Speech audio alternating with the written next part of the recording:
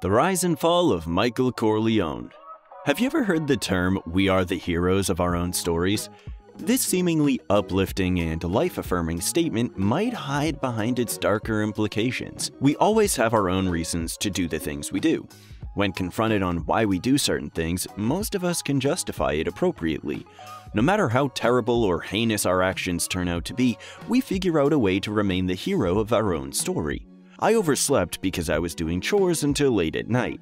I stole the money because I needed to take care of my sick mother. I killed that man because I wanted to protect the ones I love.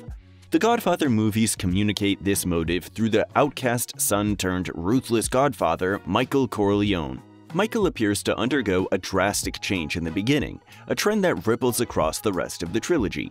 However, what was the nature of Michael's change?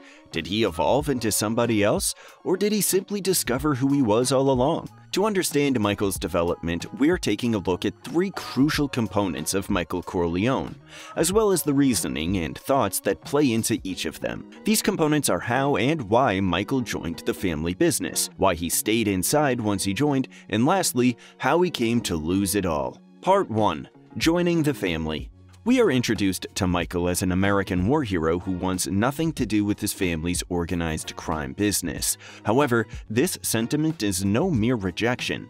You see, Michael's very vocal about it. Every time he's on screen, it seems like it is his sole duty to let us know that he is, in fact, not interested in any part of the family business. I am nothing like my father. That's my family, Kay, not me. Michael's insistence on wanting no involvement in criminal activities that his family commits makes it all the more curious that the first time he gets the opportunity to commit atrocious acts to save his father's life, he readily abandons his supposed ideals. To understand why Michael seemingly contradicts himself a little too quickly, we're digging deeper into Michael's psychology. An old psychoanalytical idea posits that our personality is further split into three parts the id, ego, and the superego. Out of the three, the superego is the part of our personality that's responsible for our conscious and moral values and gives us ideals to strive towards. Typically, we obtain the contents of the superego from our parents and their teachings, but it is also possible that our social environment helps shape our notion of what is right and wrong. In Michael's case, we can assume that his superego is shaped by not only his crime lord father, but also the American society he grew up in that shuns the behavior often exhibited by Michael's family. This explains not only why Michael was so vocal about going against his father, but also why it was quite easy to cast aside those doubts when his father's life is in danger. Michael constantly tries to convince himself that he is nothing like his father. That is why he repeatedly says these things. But once the situation calls for it, he finds himself fits very easily to a more flexible kind of morality not thinking twice about committing multiple first degree murders if it meant keeping his father safe. It's not so much that Michael changes or becomes a different person, casting out his ideals in the process. It's simply that he expresses another part of himself that has been there the whole time. From the beginning, both the values his crime family has implanted upon him and the ideological imperative of being a good American citizen are part of his identity. It just so happens that at the time, one became more necessary than the other. What appears to be a sudden switch in personality is just the interactions between the two conflicting ideals Michael finds within him. Despite how Michael sees himself, he finds himself more than willing to commit terrible acts of crime if he could justify it as protecting the father that he loves so dearly. Michael might have murdered two people in cold blood, but given his reasoning and thought process, he gets to remain the hero of his own story. Part 2 Staying in the Family Why doesn't Michael leave the first chance he gets? Sure, it might not be that simple to just stop after you have committed to taking actual part in the family business, but what makes Michael stay? Especially after his father's life is no longer in danger. During one of their final conversations, Vito explains to him what it is that he is trying to do with the family business. Not only does he explain that his end goal is to never have Michael take any part of this, he also wants Michael and the family business to eventually be completely legitimate. This solidifies the direction Michael would end up taking the family. Furthermore, it gives Michael a sound basis to stay in the organized crime business. After all, what are a few more life sacrifices if it means you can purify an old, highly corrupted system? Michael's worldview in relation to this particular issue is further emphasized through the exchanges he has with Kay after the former finally returns to New York. Here, Kay questions why Michael starts working for his father. Michael explains that at the end of the day, his father is just like any other powerful man. The senators, the presidents, the godfathers. Here we can see that Michael justifies his position as a crime lord by establishing that any man with a position of power who has responsibility over other people would do the type of things that his father does murders, extortions, and the likes.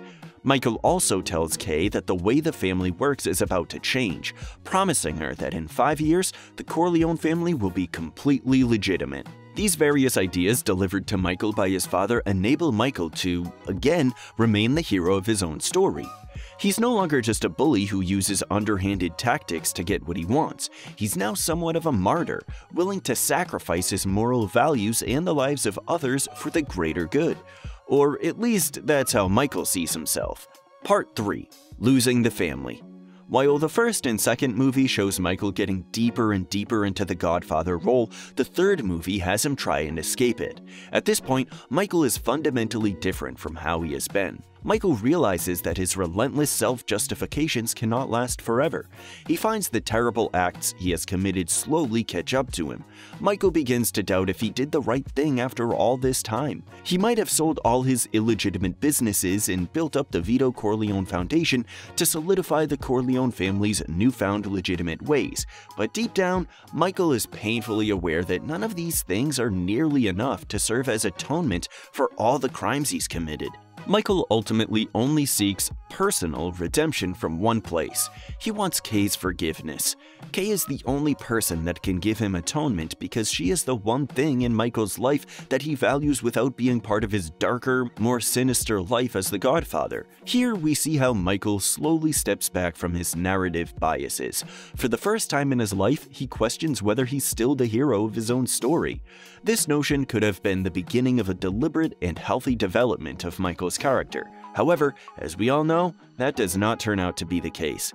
You see, Michael's ambitions still tug away at him, preventing him from fully admitting to his crimes. This is obvious from the exchange he has with Kay as part of the attempt of his atonement. Even when apologizing to Kay, Michael could not let out the words, I'm sorry. He frames it as Kay simply not understanding how things were for him, and that he's not the man she thinks he is. This is Michael's last chance at redemption, with Kay being there with him after all these years. Michael has every chance he would ever need to properly acknowledge what a monster he has become. Michael eventually passes on the family torch onto his brother's illegitimate son, Vincent Mancini. His baptism as part of the Corleone family is not the glorious moment that we might see it as. This signifies that Michael has given up. Michael realizes that his attempts at making the family business legitimate has failed miserably. The cycle of killing will continue, and there's nothing he can do about it.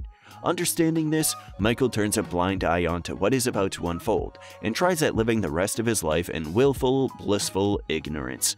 Michael realizes that everything he's done has been for his family and that he would like to spend more time with them, away from the organized crime life that reminds him a little too much of his past mistakes and failures. This sentiment comes with a heavy price. Michael loses his daughter's life. Despite no longer taking part of any of the killings happening that night at the theater, Michael's sins have finally caught up to him. This ends any chance Kay might have had of giving him genuine forgiveness. Having lost everything, Michael spends the rest of his days by himself, in isolation and loneliness. What does it all mean? The tragedy of Michael Corleone shows us how our own ideals and noble desires can bring out the worst in us. Michael's good-hearted desire to protect his family has led him to lose the very thing he tried to protect. Mental gymnastics, self-delusions, and all too human justifications of our own actions can lead us down a path where we not only lose ourselves, but also everything we care for.